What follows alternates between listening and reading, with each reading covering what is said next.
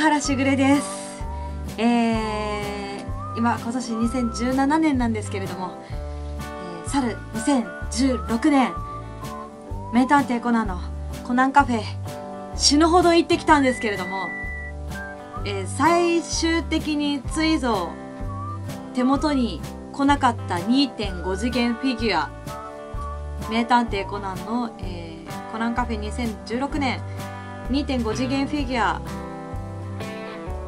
やっと今目の前に来ております。感動の再開あ一回も会ってねえわ。はいということでご紹介したいと思います。こちら名探偵コナンコナンカフェの2.5次元フィギュア。江戸川コナンン名探偵コナン2.5次元フィギュアコレクション2016コナンカフェ限定品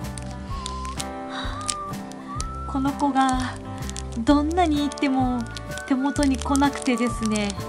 愛ちゃんは来てたんですけどなんていうか角が多くて マジで泣きそうだった。いやもう去年去年あんなにあんなに大阪にまで行って超頑張って全メニュー制覇してきたのについにこの子は来てくれなかったの。それが今手元にある。あるよすごい。これはもうちょっと本当にやばい。いいですね。いやーいいわこれちょっと我が家にあるあえちゃんと一緒に並べて置いておきたいと思います。もうこれね。これね。はあいいわ。もうなんかこうやってちょっと私は返しのモニターをししばらく眺めてますね。ああよっきいいな懐かしいななんか2016年は渋谷のえっとタバレコじゃなくてそこからちょっと何？渋谷駅寄りに戻ったところにあるえっとパルコさんだったかな？でやってたんですけど。このねなんか何？みんなの絵が壁にバーずらーって並んでいてコナンもこうやってあったんですよ。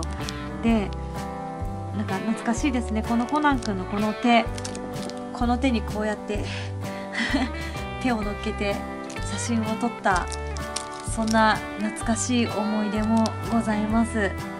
はあ。懐かしいな。なんか懐かしいな。ですね。はあやっと来たよこの子。嬉しさ。すごいね。あの今感動の再会で胸がいっぱいなの。あー懐かしい。良い。いいですね。このコナン君の手を取りたいがために私何度も言ったわ。何度も言ったけど全然来てくれなかったの。なんだろうな。物欲センサーが過ぎたのかしら。でこの靴可愛くない？今思ったけど。この靴可愛くないですか？ゴミゴミ。なんか足元だけこうやって見ると女の子みたい。可愛いね。すげえな。ということでやっとてくれました。